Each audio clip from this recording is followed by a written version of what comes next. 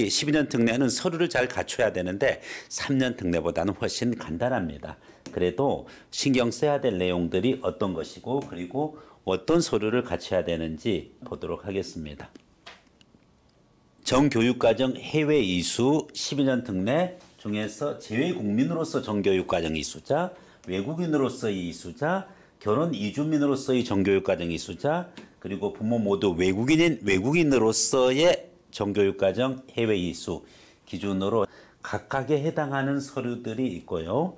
이 각각에 해당하는 서류 중에서 외국인인 경우, 결혼 이주민인 경우, 그리고 부모 모두 외국인인 외국인인 경우에는 한국어 인증 시험 3급 이상의 성적표를 요구하고 있습니다. 보통 토픽 3급 이상 요구하는 게 가장 기본이다라고 보면 되겠고 다른 한국어 능력 인증 시험으로 대체가 불가능합니다. 오로지 토픽 해야 됩니다. 자, 그거와 별개로 어, 공통 서류가 있습니다. 공통 서류 중에서 뭐 입학 원서, 학력 및 지원 자격 기록표 이것은 예, 인터넷으로 출력 가능하고요. 가장 중요한 서류가 세 가지죠. 고등학교 졸업 증명서 바로 Certificate of Graduation 즉 졸업 증명서 그리고 초중고등학교 전 과정 성적 증명서 네, 트랜스크립이죠.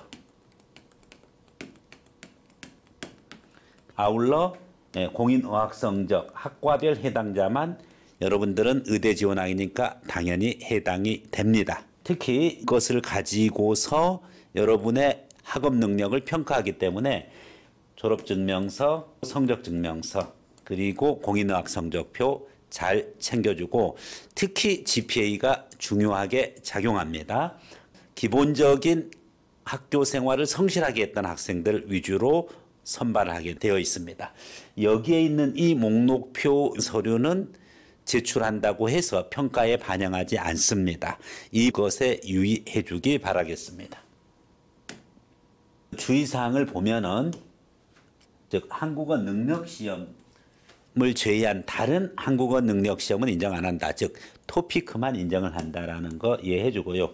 재정 보증 서류 확인해서 잘 제출해 줘야 되겠습니다.